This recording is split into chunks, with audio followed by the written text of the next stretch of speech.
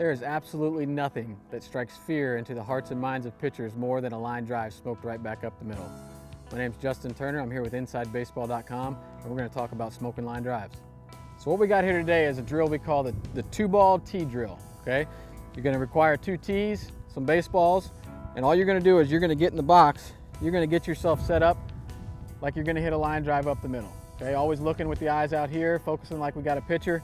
The objective of this drill is we're focusing on length through the zone. We want to keep this barrel in the zone for as long as we can. One of the ways we gauge that is by trying to hit a ball into a target right in front of us, directly up the middle.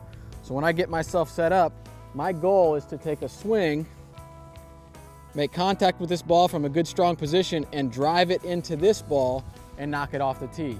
Hopefully if you're if you're really good, you can keep taking this tee and moving it farther and farther back and keep taking your shots at it there. Now let's take some swings, see if we can knock this thing off.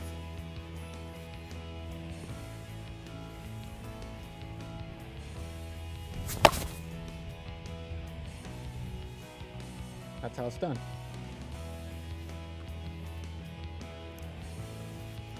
Now, if you want to really challenge yourself, after each, each level, you'll move this tee back five to 10 feet.